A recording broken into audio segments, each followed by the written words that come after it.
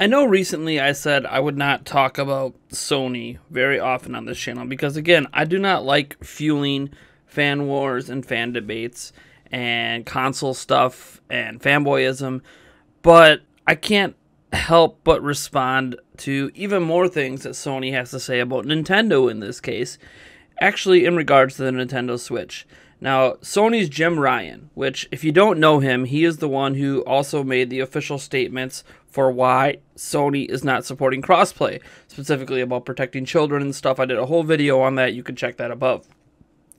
What happened here now is that GameIndustry.biz interviewed him, and most of the interview deals with Sony and their games and their platform, and you know a little bit of the competition between you know Microsoft and Sony in terms of like the Xbox One X, the PlayStation 4 Pro, blah blah blah blah.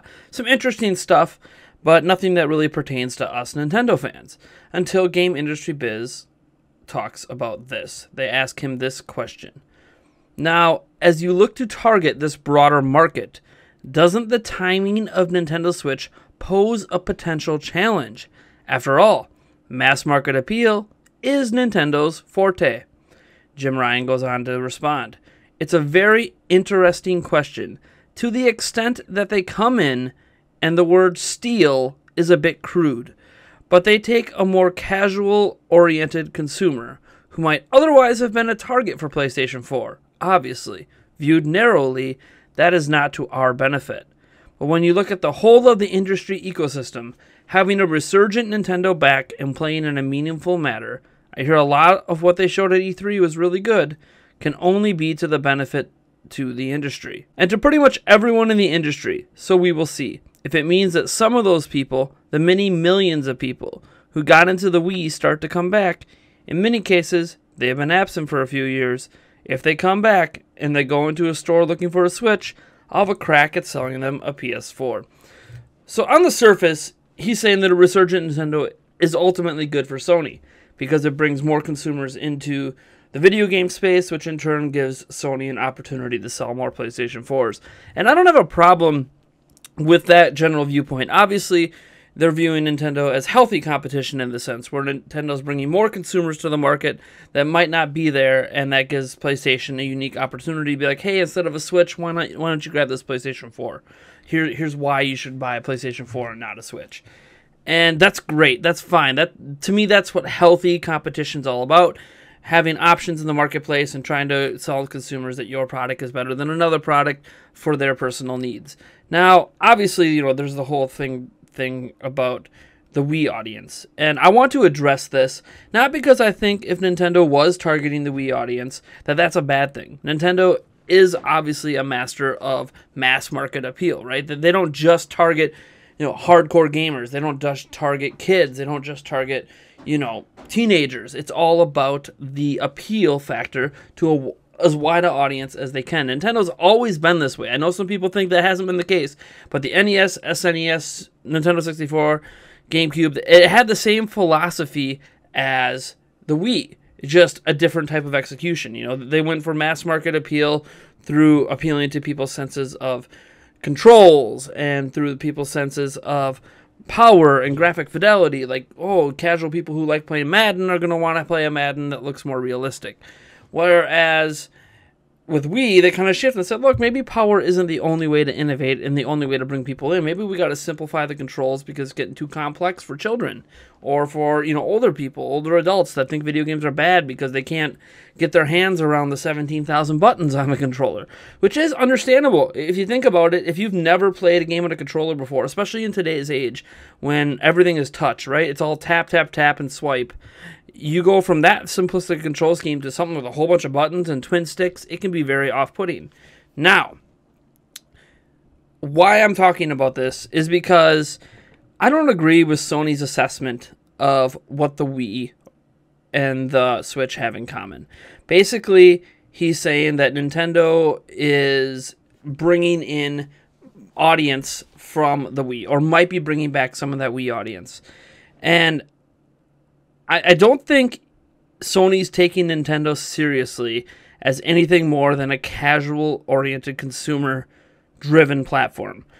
Uh, like uh, he says, you know, Nintendo's not stealing any audience. They're, they're, they're only, you know, going after this casual oriented consumer that we also are going after, but they're doing it in a different way, and we have a, a sales opportunity here. I think they missed the ball.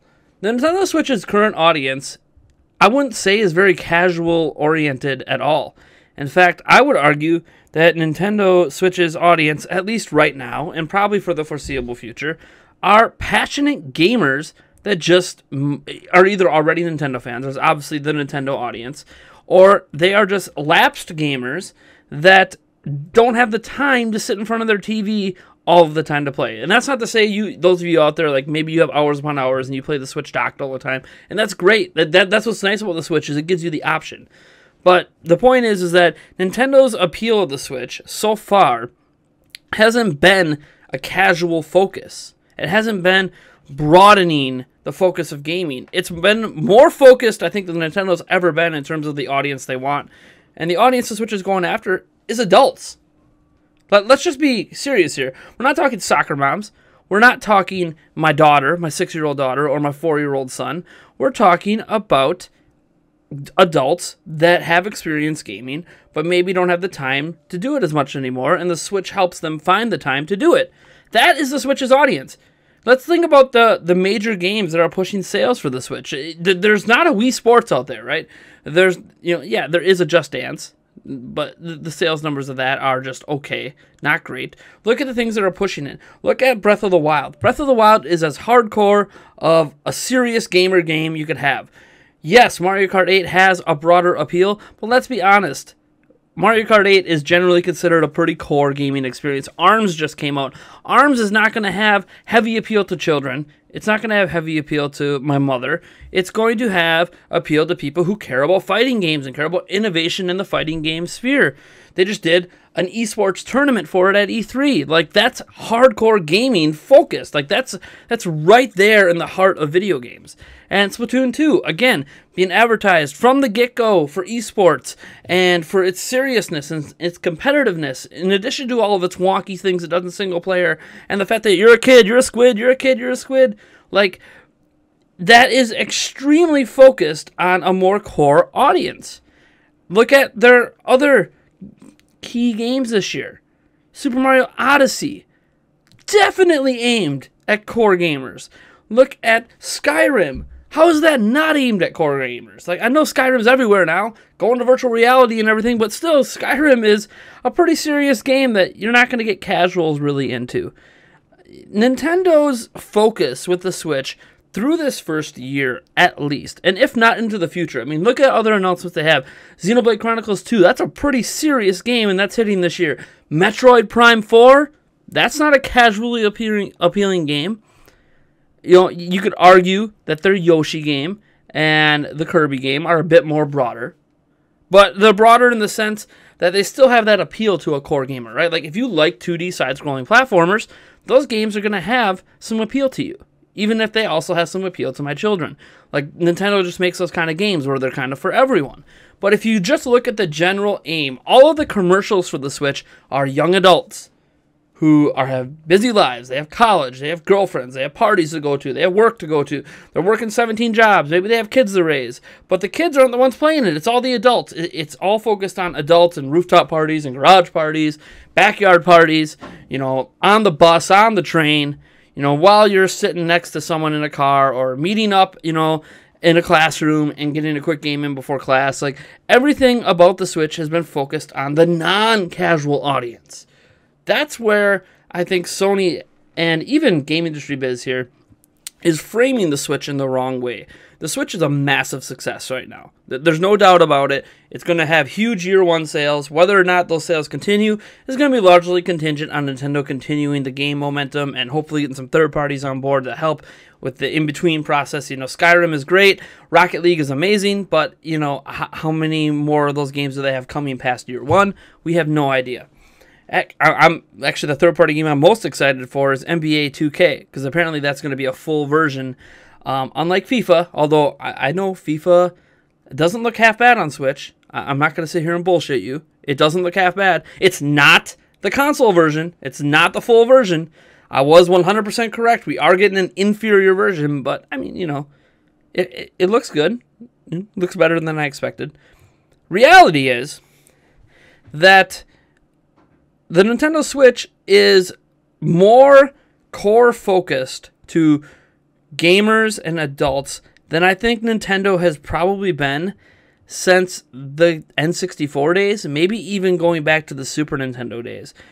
To me, the clear cut w- audience for the Switch is not the same as the Wii. So, like for Sony to be like, oh look, you know, when they start bringing some of the Wii audience back, we see as an opportunity to sell a PS4. Like the PS4 on the surface will never have the appeal factor of the Switch because it can't do what the Switch does. The PlayStation 4 is going to appeal to people who want that box underneath their TV. They don't care about taking it on the go. They're just going to be those people who sit down and do long gaming sessions and play, you know, some of the best looking games out there. Same with the Xbox One X. Switch is about being convenient for people who are busy, which in general is most adults the Switch is a very adult oriented product. This is why they're continuing to still sell the 3DS, by the way. For anyone out there, it's like, oh, why does Nintendo continue to support a 3DS? Why are they releasing a 2DS XL? Blah, blah, blah. Why are they doing all this stuff? Well, it's pretty simple because that's their kid product.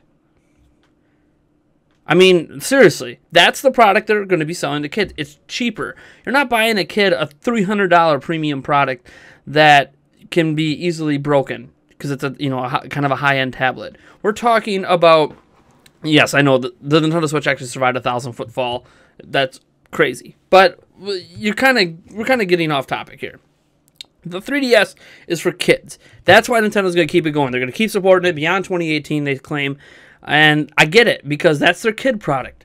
But it, uh, I'm not trying to say you're a kid if you play 3DS games. That's come on now. But the Switch is clearly aimed at a specific target audience that Sony, Game Industry Biz, and maybe even some other companies out there are completely misrepresenting. And this is partially why I'm a little upset that at least this year we're not getting heavy third party support because Switch feels like the perfect opportunity for third parties to get on board and get those hardcore games out to an audience that actually would play them. They just want to play them on the go. How awesome would Assassin's Creed Origins be if you could take it with you? I mean, that sounds amazing. And, and, I know there's power issues and it's not a 4K and doesn't do true 4K. The Xbox One X doesn't even do true 4K, but whatever. It, it, it's not as powerful as the other boxes out there, but there's enough consumers that seem to be willing to sacrifice that power to bring their favorite games with them on the go that are console level quality. They don't feel like they're losing a whole lot with the Switch in compared to like a 3DS, you know? You, you take, uh, say, I don't know, Ocarina of Time 3D on the 3DS out, that feels like a lesser experience than just, say, taking Breath of the Wild with you on the go. It's the same experience you get on your TV on the go. So at the end of the day, I, I just, I know I say that a lot at the end of the day. I really apologize. I, I just, I feel like the conversation around the Switch from outsiders that aren't in with the community of Switch should start to shift a little bit. I, I think we need to start recognizing that the Switch isn't this side dish casual machine. It is uh, almost as core or hardcore of a system as there can be, and it recognized that there was a giant hole in the industry that tethered console gaming to a TV, and the Vita didn't serve it well enough. And now Nintendo came in and said, "Look, we got something even better, and we have the games to back it up." And right now they do and hopefully third parties realize it because I think there's a huge audience for a lot of these third party games in portable fashion or on TV where people can get the same experience either way. I feel like there is a missed opportunity for some third parties out there that hopefully they realize in year two. And even if we don't get Call, Call of Duty World War II as an example, we get the next Call of Duty game or the next Assassin's Creed game. Hopefully, things like Mario and Rabbids, you know, that is very core oriented in terms of its gameplay style you know resonates and sells well. And and breath of the wild and the skyrims all these games continue to sell really well because i think that's going to further prove the kind of audience that's here. There's a lot of adults that want those games that don't have the time to sit in front of their tv all the time to do it. But if you give them the switch and say look you could take it with you places. You could take it on the plane. You could take it to your hotel room very easily. It's not going to take up a lot of room in your bag. That's appealing. And nintendo switch has really hit a market here that I don't think Sony game industry biz, and many others understand. Anyways, I am Nathaniel Rumpeljans from Nintendo Prime. If you like this video, you know what to do. If you dislike it, well, you know, hit that dislike button. Subscribe, comment below for more content like this. And hey, I, I don't bring this up enough, but we do have a Patreon. So if you'd like to support our endeavors here at Nintendo Prime, you can go to patreon.com slash Nintendo Prime. If you donate, uh, I believe the $5 tier, you get early access to our podcast every single week Well, every week that we release it. I know it's been a couple weeks because of E3 and, and, a bunch of shenanigans.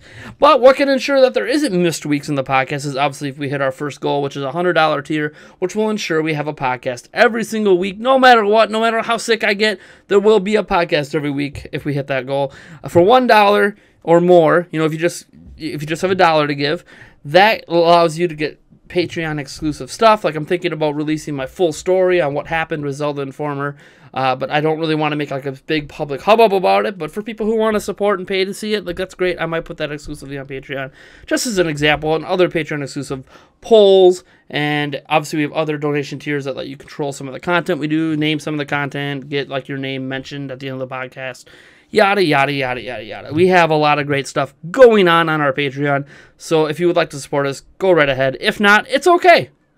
Like, I'm trying to make a career out of this. If I can't, if it just ends up being a side dish in my life, so be it. I'll catch you guys in the next one.